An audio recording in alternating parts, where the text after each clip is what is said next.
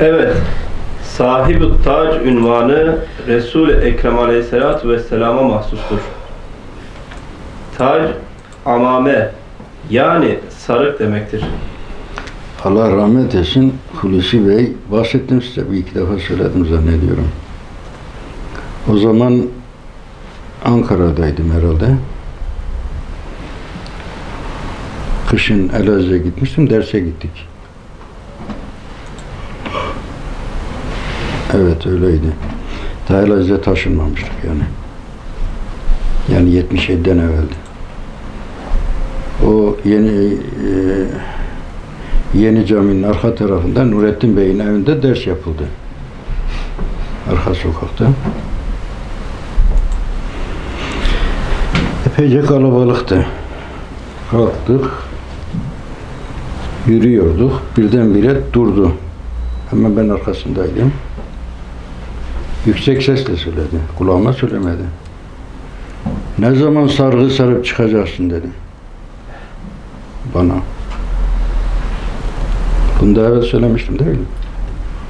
Böyle miydi? Unutuyorum çünkü söyledik. Evet. Evet böyleydi. Çok ciddi söyledi. Durdu, bana döndü. Ne zaman sargı sarıp çıkacaksın dedi. Bizim ne sarıkla işimiz var o zaman ne külakla işimiz var. Sakalı şalvarlıyım ama sarık şey yok.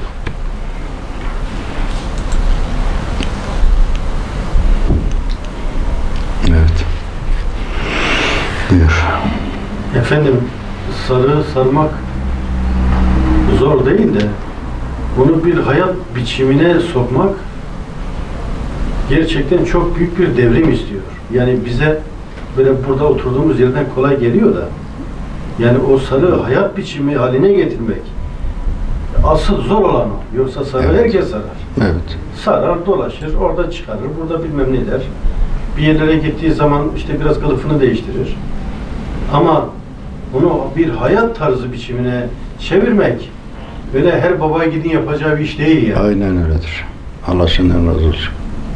Esas mesele odur zaten. Esas, esas mesele o.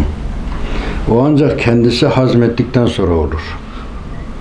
Kendisi tam hazet, hazmetmedikçe o dediğiniz olmaz. Yani kendisi onu, onu artık kendisi nasıl eli var, ayağı var, kulağı var, o da o olacak. O şekle döndüğü zaman oluyor o. Allah hepimize o şuuru, o hali nasip etsin inşallah. Evet. Efendim bir gün şu sarıklı küçük eee sarıklı küçük genç polisiye omuz omuza vereceği yapalım ders olarak. Sadece bunu. Nasıl edek? Hele bir daha söyle hele. Şimdi ben burada size sual edeceğim efendim. Hı. Ama e, kelime kelime. Yani bir kelime soracağım, siz o bir kelimeyi açıklayacaksınız. Ondan sonra ikinci kelimeye geçeceğim. Ondan sonra ikinci kelimeyi açıklayacaksınız. Açıklamasam. Canlı. Peki buyur sor. Sarıklı küçük bir genç. Genç, Sarıklı genç bir zat diyor evet. e, sarıklı genç bir zat. Öyle Sarıklı diyor. Öyle diyor değil mi? Öyledir. efendim sarıklı ne demek? Genç ne demek? Zat ne demek? Bir de bu üçü ne demek? Ayrı ayrı.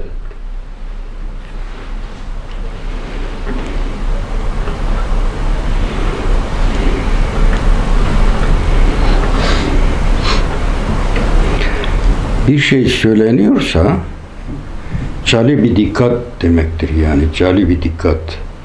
Ona dikkat çekiliyor yani.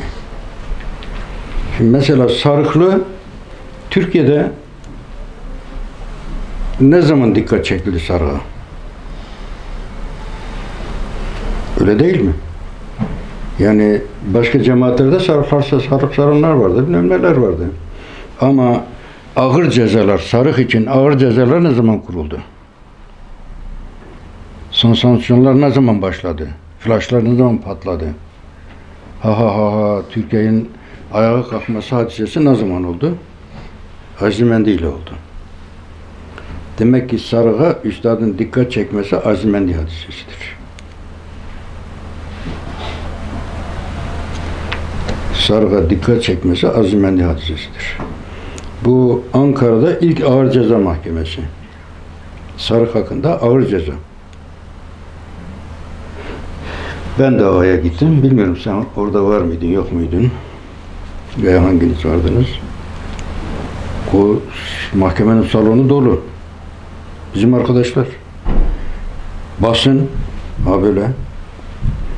Ben şeye bir pusula yazdım gönderdim hakime.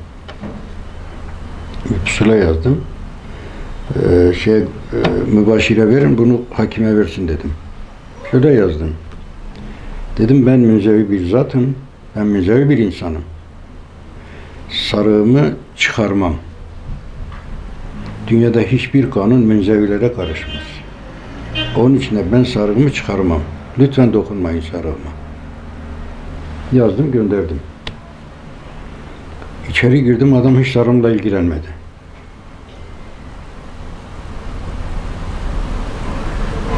Dışarıda kıyamet kopuyor. Ben mahkemeye sarıklı giriyorum ve hakim hiç sesini çıkarmadı. Hiç ilgilenmedi sarığımla. Halbuki dava sarık davası. Yani sarığı niye sarıyorsun davası? İlk mahkeme öyle oldu. En, encamı ne oldu? O beraat verdi zannediyorum bize. Beraat verdi o adam. Ve hemen tenzili rütbe düz hakim olarak bilmem nereye sürüldü o. O hakim. O reis. Tenzili rütbe düz hakim olarak Manisa diyeceğim geliyor. Efendim Elazığ'daki mahkemem efendim. Evet, Elazığ'daki mahkeme. Mi? Hatırladın mı? Sen vardın orada. Vardım. Evet, evet. Koridor böyle boydan boya doluydu ağzına kadar. Bu birinci kattaydı. Yani demek istediğim sarık bu. Bir şey söylüyorsa yani o e, dikkat çeken bir hadise. Yani e, herkesin e, dikkatini çeken, herkesin ilgilendiği bir hadise olmak lazımdır. Sarıklı genç derken o sarık ona delildir. Yani bu sarık gürültü çıkarır. Bu sarık sansasyon yapar. Bu sarık bir hadise meydana getirir. Bu manadadır o. Sarığa dikkat çekiyor yani orada sarığa dikkat çekiyor. Öyle anlıyorum. Küçük, genç, Bir genç, o tabir nasıldı? sarıklı küçük genç bir zat ise He. Çarıklı küçük, Küçük, genç, genç bir, zat. küçük genç. O şimdi isabet etmiyor yani. Bana desen şimdi sen bana bakıyorsun. 79 yaşındayım. 80'e bir sene kaldı. Ben değilim. Efendim bir yaşı da olsa, 80 yaşı da olsa ben buradaki anladığınız manayı soruyorum. Evet. Sarık bahse konu olduğu zaman yaşı genç olan birisinden bahsediyor. O sarı saranın genç olduğundan bahsediyor. Sarık bahse konu olduğu zaman onu saranın genç olduğundan bahsediyor. Efendim bu, su- bu suali ben şöyle sual arz etmiştim size. Üstadımıza göre mi genç, Hulusi Efendi'ye göre mi genç, zamana göre mi genç? Siz demiştiniz ki Hulusi'nin omuz omuza vereceğine göre Hulusi Efendi'yle e, ona göre genç. İşte öyle. Dedim ya isabetli cevap veremem ben. Şimdi öyle geldi. Yani o genç, o sarığı sardığı zaman genç olan birisi. Çünkü o, o zattan bahsediyor yani. Evet. Hulusi'ye omuz omuza verecek. Hulusi'ye onu Ahmet Feyzi abiye sordum. Bence de o mana çok kuvvetli. İhlasta Hulusi ölçü birimidir dedi. İhlasta Hulusi mertebesinde veya Hulusi'yi geçecek birisinden birisidir dedi. Ahmet Feyzi abi ona öyle söyledi. Ama e, bu gibi hadiselerde beraber bulunmak meselesi de bahse konudur. Ve madem bu kadar zorluyorsunuz onu söyleyeyim. O sana telefonu verenin nenesi bana sen o sarıklı gençsin diyordu. Abdülkadir'in nenesi. Hacı Hanım öyle diyordu. Ama duman beni tutar. İnşallah ben değilimdir yani. Yoksa üstadın sözü mübarek sözü yere düşer. Hiç bahse konu değil. Diye şeyde Maraş'ta birisiyle karşılaştık. Neredeydi, ne zamandı bilmiyorum yani. Medresede değildi yani, dergahta değildi. Bir üniversitede doçentmiş. Risale-i Nur'u iyi bilen biri konuşmasını öyle anladım. Dedi sen o sarıklı gençsin. Bana. Dedim Allah'tan kork ya. Elim sakalmadım. Bunun neresi genç? Sarı sarı zaman gençtin dedi. Bir emare işaret böyle gösteriyor. Şimdi biz bunu ketmetmekle hakikate kadredemeyiz. Fakat nedir, neyin nesidir, nasıldır bilemiyorum. Ne iştir bilemiyorum. Risale-i Nur'un Azmendi hareketi Emir Dağı'nda yazdığına göre birinci hizmet devresinin ikinci kısmını da ifa etmiştir. Bu kesin. O da sarıklı genç vasıtasıyla olacak diyor. O da kesin. Aha ben de buradayım. Ha ben de buradayım.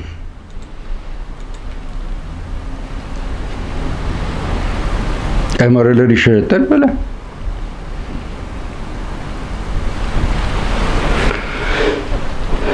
Ama üstadımızın dediği gibi ben kazıyorum bilmiyorum içinde ne var.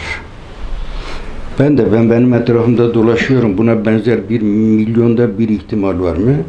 Vallahi de göremiyorum, billahi de göremiyorum. Ne film, ne fırıldak anlayamıyorum. Yemin ediyorum, bak Allah'ın ismiyle yemin ediyorum. Kendi kendimin etrafında dolaşıyorum. La diyorum oğul bu biraz seni gösteriyor ya bak. Hı? Vallahi de billahi de milyonda bir benzetme yapamıyorum kendime o işe. Yeminle söylüyorum Allah'ın ismiyle söylüyorum.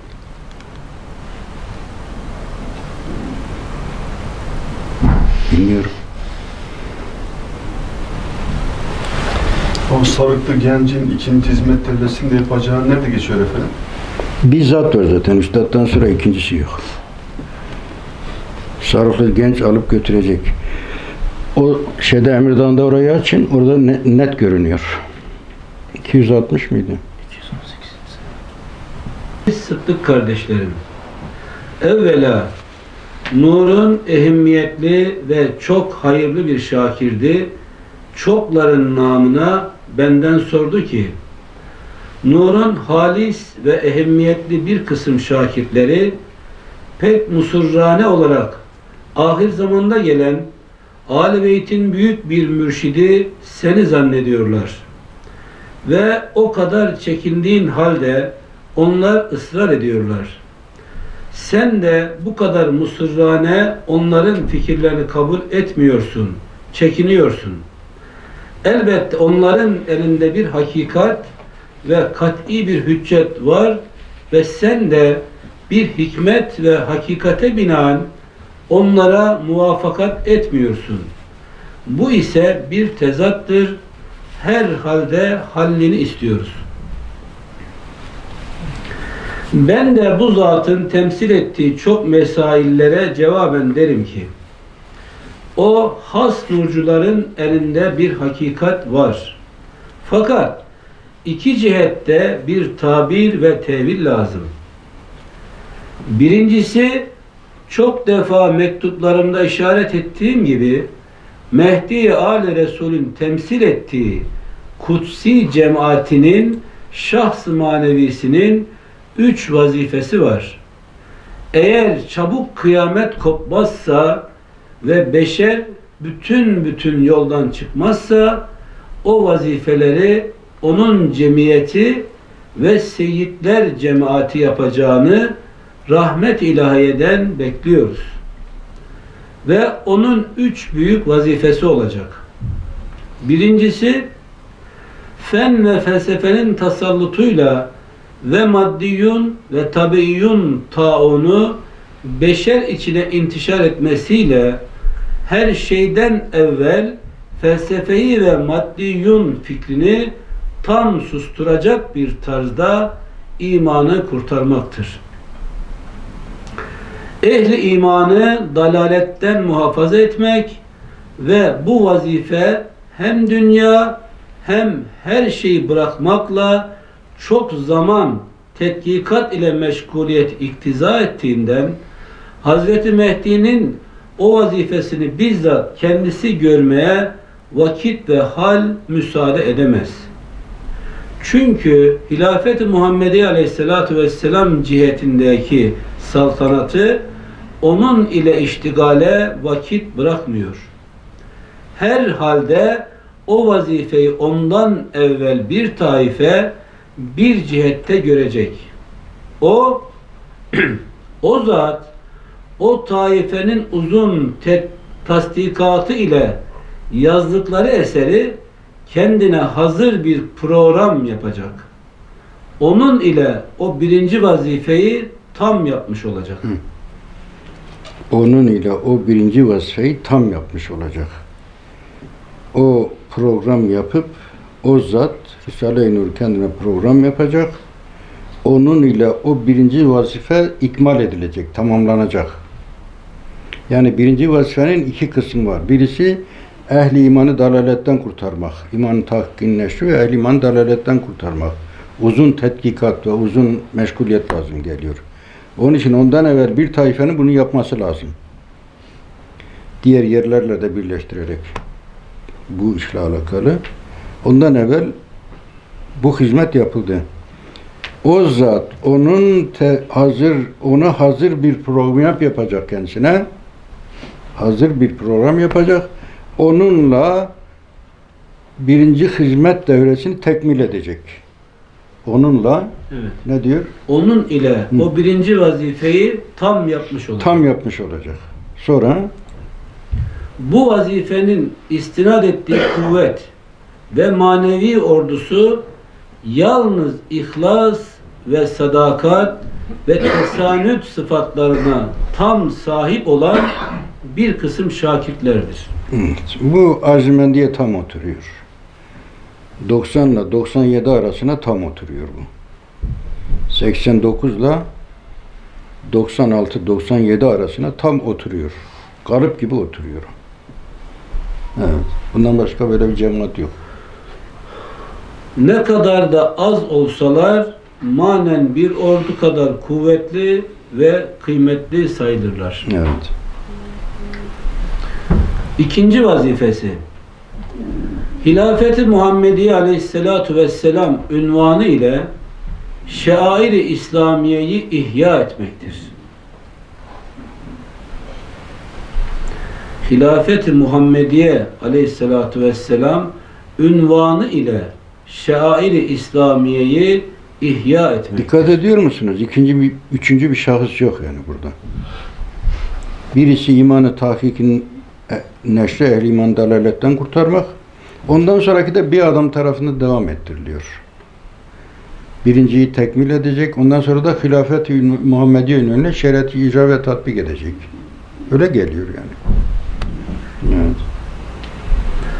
alem İslam'ın vahdetini noktayı istinat edip beşeriyeti maddi ve manevi tehlikelerden ve gadab ilahiden kurtarmaktır.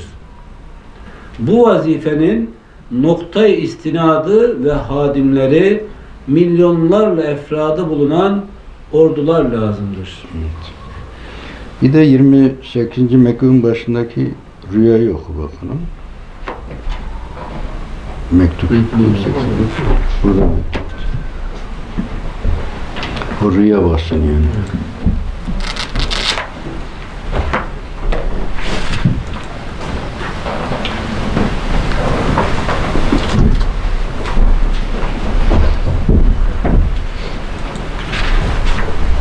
Birinci meselenin son tarafıydı zannediyorum. Birinci risale olan birinci mesele. Yedincisi. Yedinci.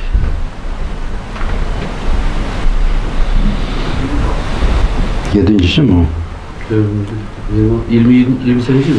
28. 28. mektup birinci risale olan birinci mesele yedincisi.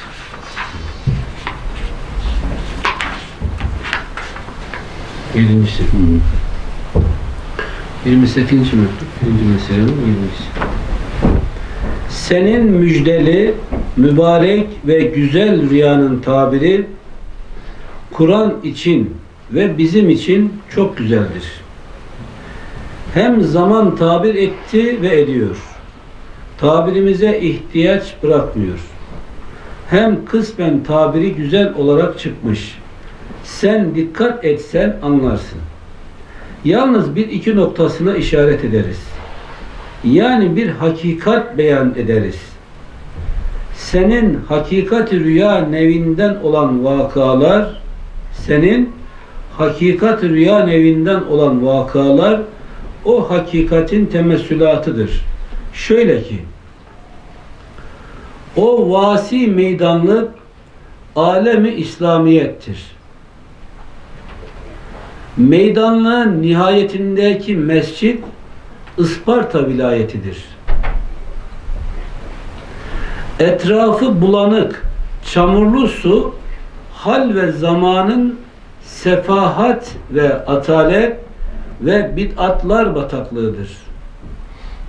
Sen selametle bulaşmadan süratle mescide eriştiğin herkesten evvel envar Kur'aniye'ye sahip çıkıp kalbini bozmadan sağlam kaldığına işarettir.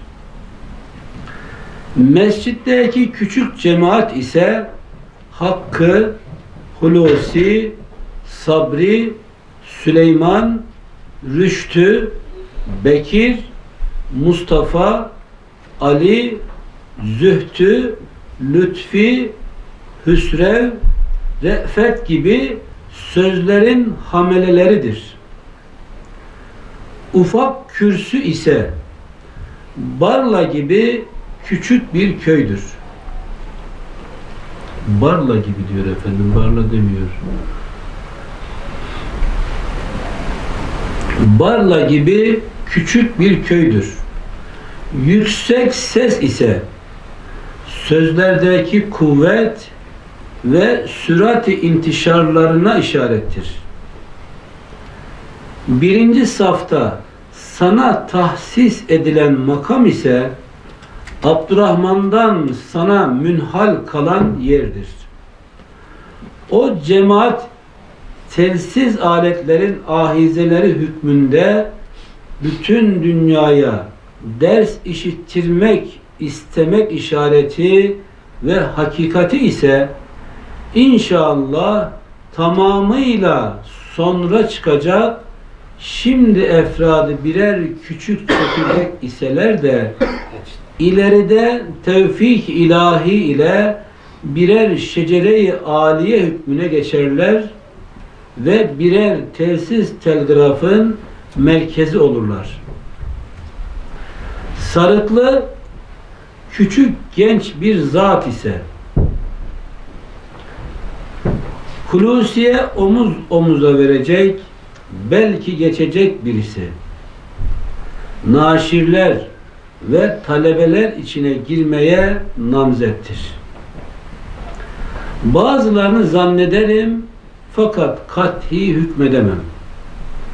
O genç kuvve-i velayetle meydana atılacak bir zattır.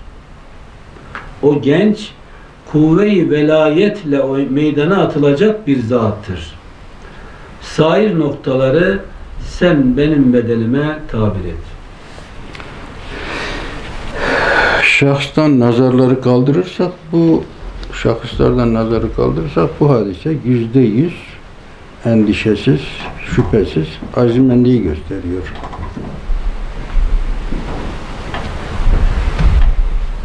Azimendi hadisesidir bu.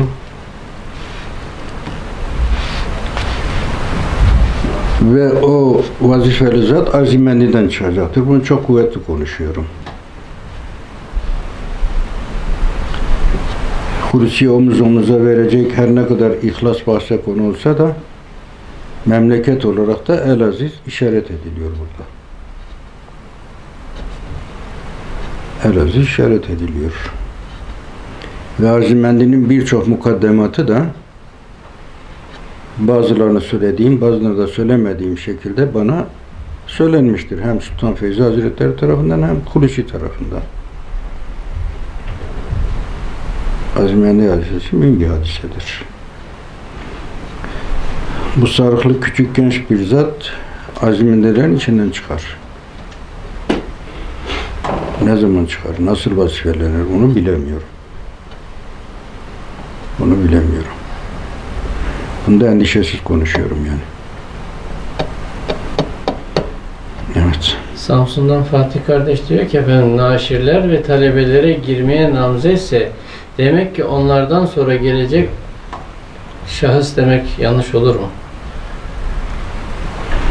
Yani Naşir yalnız eser naşr, neşr manasında değildir.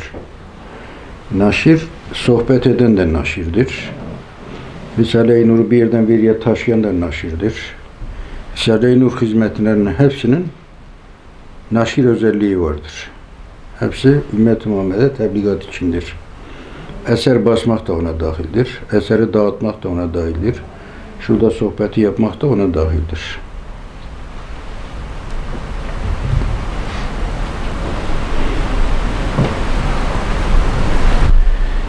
Zekeriya Savaş abimiz suali var efendim.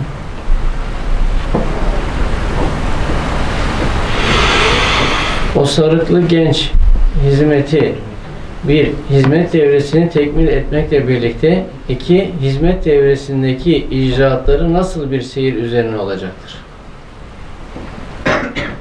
Bilmiyorum.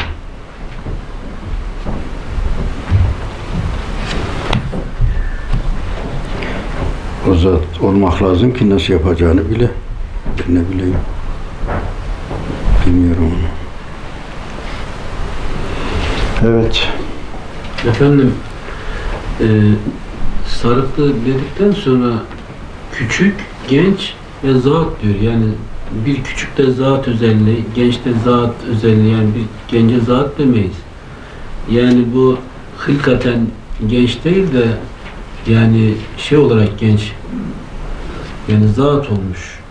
Yani biz çocuğa zat demeyiz. Gence de zat demeyiz. Yani bir zat var sarılı Biz demeyiz de gören onun istikbalinde ne olacağını gören der onu. Tabii. Onun istikbalde ne olacağını gören der. Şeye, herhalde Nakşibendi'den Harkani Hazretleri zannediyorum. Çocukların e, güreş yapmasının seyrine gidermiş. Gidip güreş seyrediyor. Bak müridanından nazı geçene demiş "Ey sultanım bir yakışıyor mu yani? Bir gelmiş izlemiş çoluk çocuğun güreşini. Ben diyor burada birine seyrediyorum, güreş seyretmiyorum. Orada çok büyük bir na, silsile-i nakşiden büyük bir zat varmış. Gelip onu seyrediyormuş. Ben burada gelmişim onu seyrediyorum demiş. Güreş mi seyrediyorum demiş. O halde ona zat der yani. Değil mi?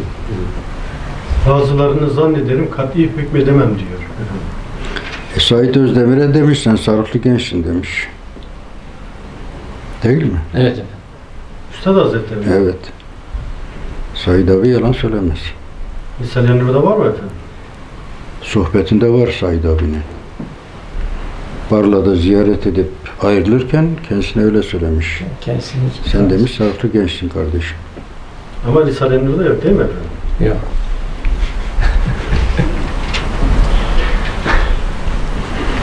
Ben o adeseyle Said abiye epeyce hizmet ettim yani. Onun için değil, Risale-i Nur için ettim. Ama o adeseyle çok baktım Said abiye. Said abiye daire içerisinde benimle Said abi arasında özellik vardır.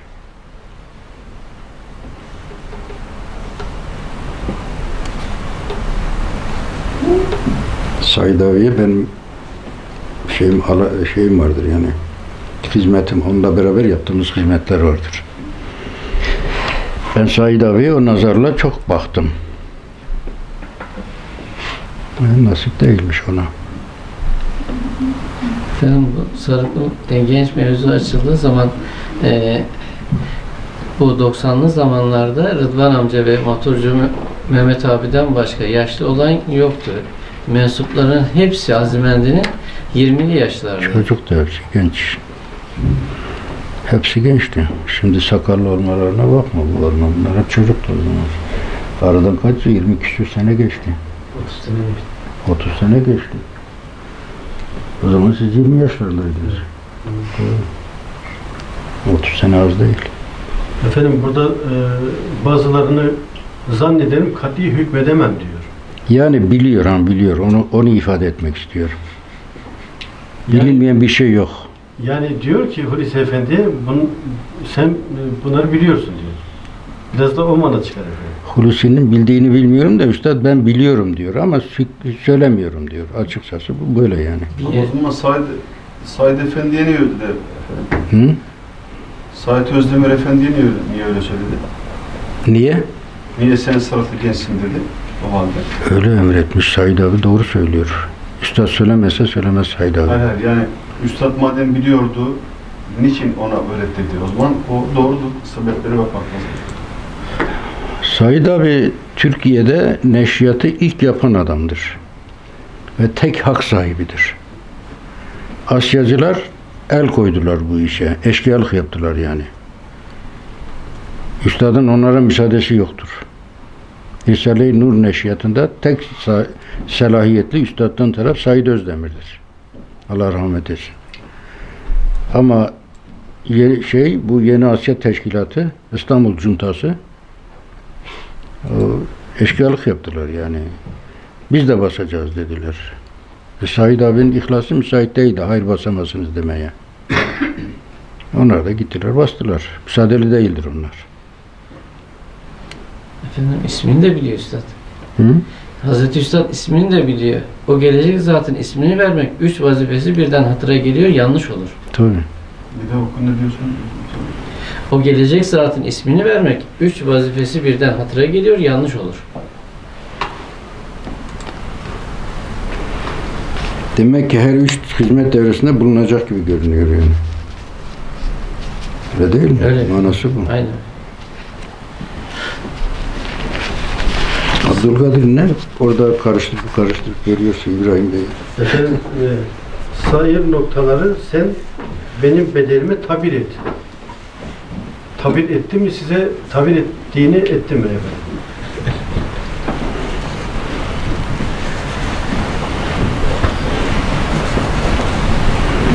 Bilmiyorum yani münhasıran bu parçayı okuyup tabir ettiği bir şey duymadım.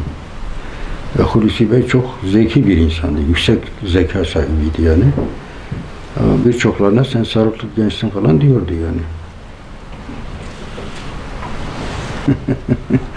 Şimdi, yani şey değil ki, yalan değil ki çocuk sarıklı, sen sarıklı gençsin demek şey değil. Yanlış, yalan değil ki, yanlış değil. Peki bu rüyanın tafsilatı hiç sorulmadı mı efendim? Ee, Hulusi Efendi yani Sayısız defa soruldu. rüya anlat bir daha anlat. Ne, ne anlattı efendim? Hiçbir şey anlatmazdı. Burayı okudurdu. Burada yazdığı gibidir derdi. Efendim şu, şunu özür dilerim. Sayır noktaları sen benim bedelimi tabir et. Yani bu tabir mutlaka ders içerisinde e, belki herkesin anlayamayacağı e, şekilde de olsa e, çok net bir şekilde izah edilmiştir. Biz o izahı istiyoruz efendim. Yani burada burada e, yazılı olanların daha genişi bizim avamın anlayacağı dilde mutlaka izah edildi efendim. Edilmez. Bu sırdır çünkü. Bu avama verilecek bir sır değildir. Fitne çıkar. Cemaate dahi verilmez bu sır. Fitne çıkar. Haset çıkar. iftira çıkar. Her türlü şey çıkar buradan. Bu sır ehline verilmiştir muhakkak. Umuma verilecek söz değil bu.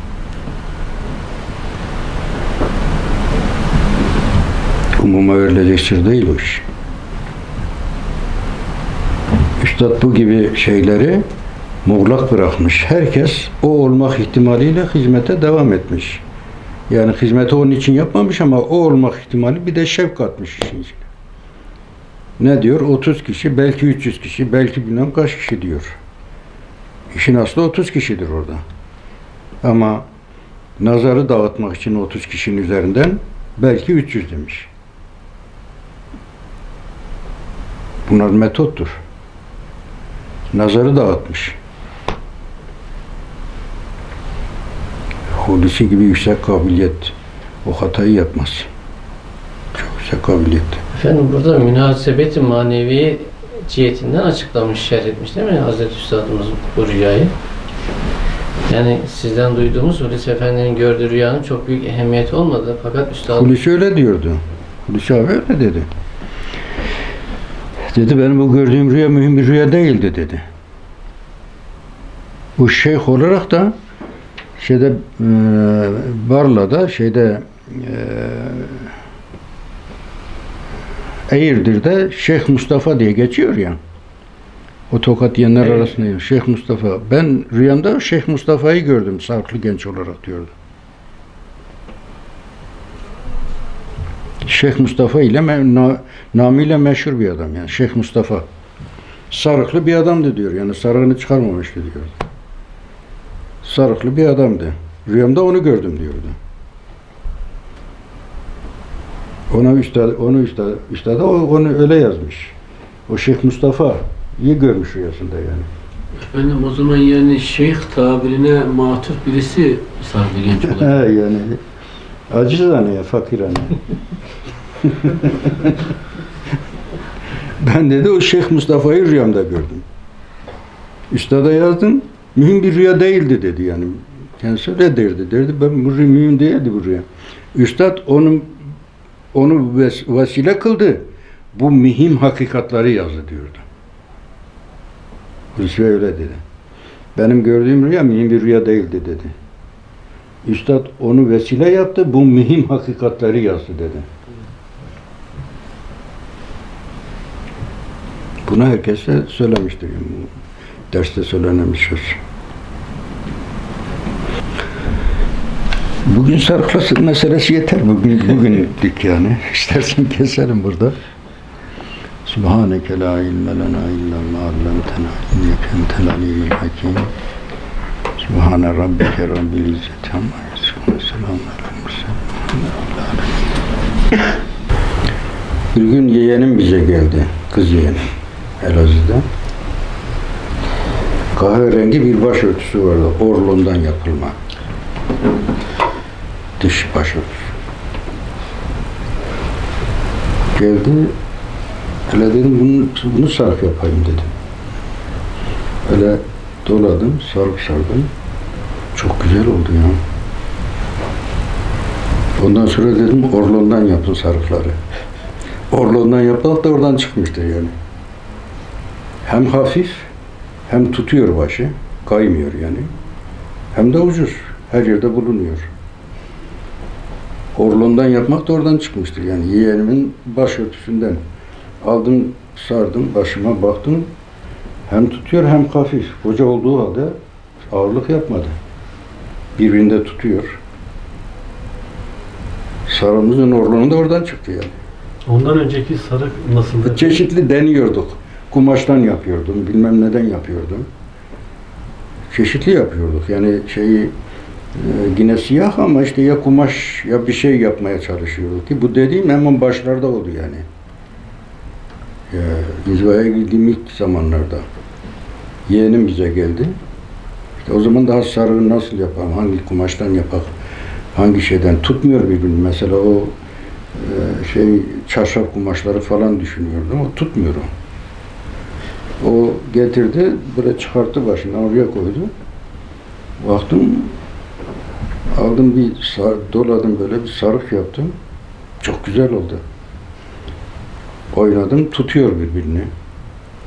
Kocaman olduğu halde ağırlık da yapmadı başında. Bundan sonra Orlun'dan yapıyoruz dedik. Orlun da oradan tuttu geliyor yani. Hiçbir şeyin öyle önceden tertibi şeyi yok. Yani böyle yapalım yok.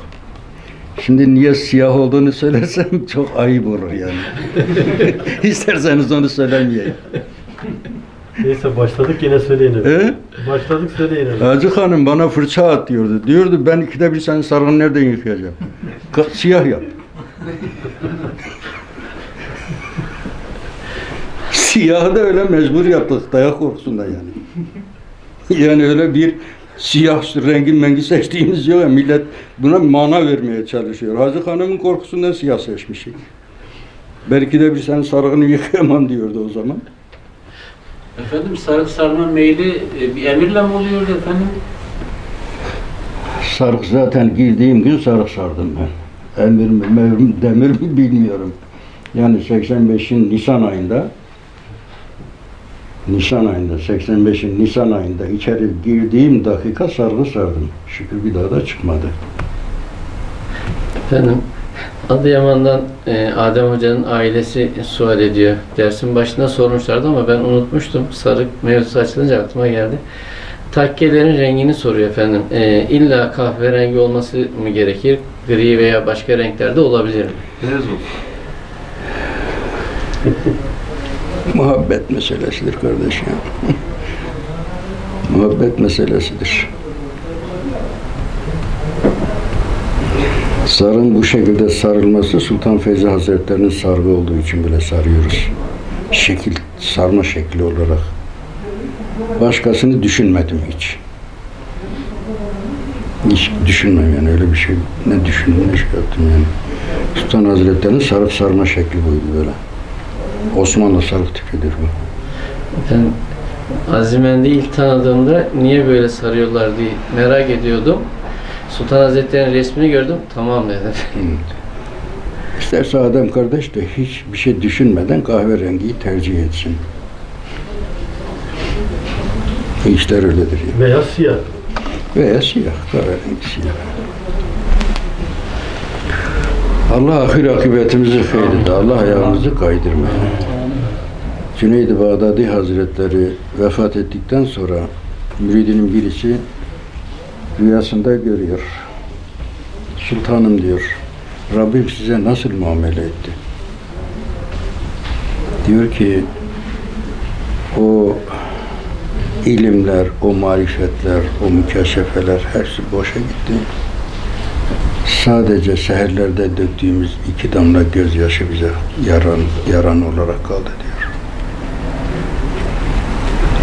Valla orası ne ağalık yeri, ne sarıklı yeri, ne sarıksız yeri, ne o yeri, ne Ora amel yeri. Ora amel yeri. Kalbi selim istiyor. Ne diyor? Ayet var orada. Kalbi selim. Kalbi selim istiyor.